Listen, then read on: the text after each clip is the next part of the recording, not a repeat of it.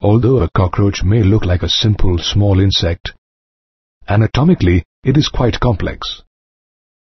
Let's take a look at the anatomical features of a cockroach, such as the alimentary canal and the blood vascular, respiratory, excretory, nervous and reproductive systems. The alimentary canal is present in the body cavity and is divided into foregut, midgut and hindgut. The entire foregut is lined with cuticle and consists of a mouth which leads into a short tubular pharynx that continues into a narrow tubular esophagus. The esophagus opens into a large sac-like structure called a crop, which stores food. The crop is followed by a small conical gizzard or proventriculus, which grinds the food particles.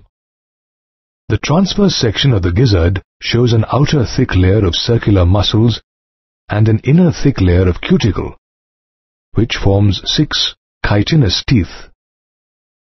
At the junction of the foregut and midgut is a ring of six to eight tubules called hepatic or gastric ceca, which secrete digestive juice. Similarly, at the junction of the midgut and hindgut is a ring of numerous filamentous yellow-colored Malpighian tubules which function as excretory organs. The midgut is followed by the hindgut, which is broader and is divided into ileum, colon and rectum. The rectum opens to the exterior through a small aperture called the anus. The anatomical study also includes the blood vascular system. Cockroaches have an open blood vascular system with poorly developed blood vessels that open into a hemocoel or open body space. The visceral organs situated in this hemocoel are immersed in blood or hemolymph, which consists of colorless plasma and hemocytes. In a longitudinal section of the insect, you will see a long muscular tube lying along the mid-dorsal axis of the body. This muscular tube is the heart, which is differentiated into funnel-shaped chambers with ostia on either side. These insects also possess sinuses or cavities in their body. The hemolymph from these sinuses enters the heart through ostia and is pumped back into the sinuses anteriorly. The respiratory system also forms a part of the anatomical study of a cockroach. This system consists of a network of trachea that opens to the exterior through 10 pairs of spiracles which are located on the lateral side of the body. The opening of these spiracles is regulated by sphincters. The tracheas are further divided into thin tracheoles which supply oxygen to all the parts of the body. Gaseous exchange in these tracheoles takes place through diffusion. The anatomical study also includes the excretory system. In cockroaches, Malpighian tubules situated at the junction of the midgut and hindgut serve as excretory organs. Each tubule is lined with ciliated and glandular cells which absorb nitrogenous wastes from the body and convert them into uric acid. This uric acid is then excreted through the hindgut. As cockroaches excrete uric acid, they are known as uricotelic animals. Apart from Malpighian tubules, the fat body, nephrocytes, and uricose glands also help in excretion. The nervous system is also a part of the anatomical study.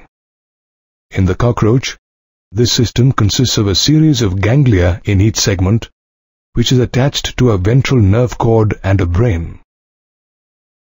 There are three thoracic ganglia and six abdominal ganglia. In the head, the supraesophageal ganglion represents the brain, which supplies nerves to the antennae and the compound eyes. Did you know that if you cut off the head of a cockroach, it can survive for almost a week? Well, this is because the head holds a small part of the nervous system, while a large part of the system is present in the thorax and abdomen.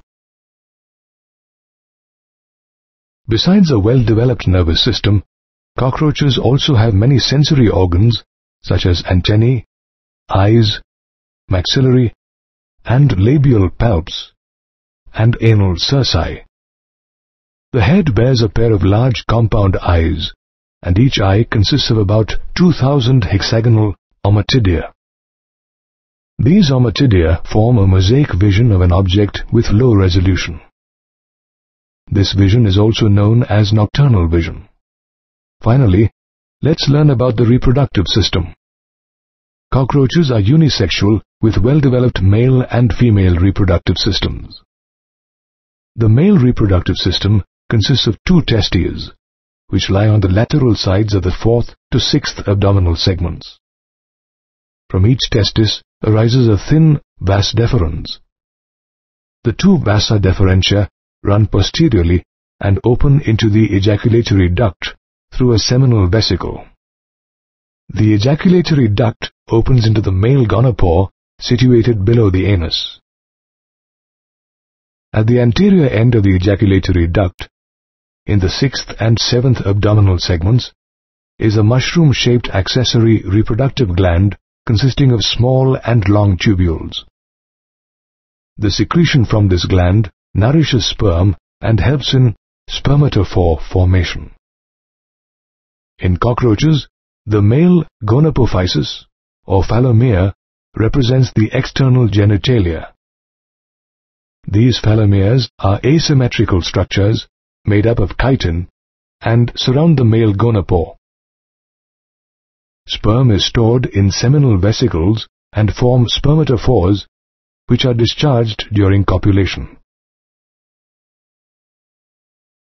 The female reproductive system consists of two large ovaries, which lie on the lateral sides of the second to sixth abdominal segments.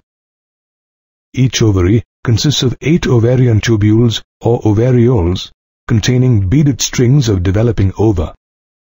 From each ovary arises an oviduct, which joins to form a single common oviduct or vagina. The vagina opens into the genital chamber.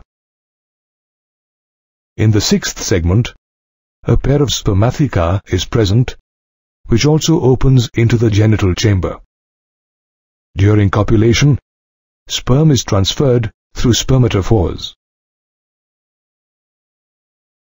After copulation, the female cockroach secretes a purse-shaped capsule called an ootheca, which contains the fertilized eggs. The ootheca is a dark reddish to blackish brown colored capsule, which is about 8 millimeters long. The female lays about 9 to 10 ootheca in cracks or crevices with high humidity and near a food source. Each ootheca contains about 14 to 16 eggs.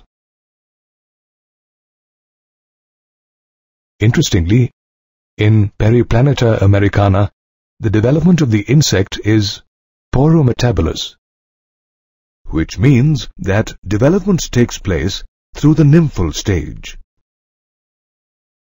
A nymph looks quite similar to an adult, and it molts around 13 times before it turns into an adult.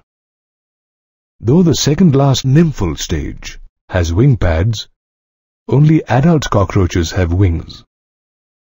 We've just studied the anatomical features of a cockroach, such as the alimentary canal and the blood vascular, excretory, nervous, and reproductive systems.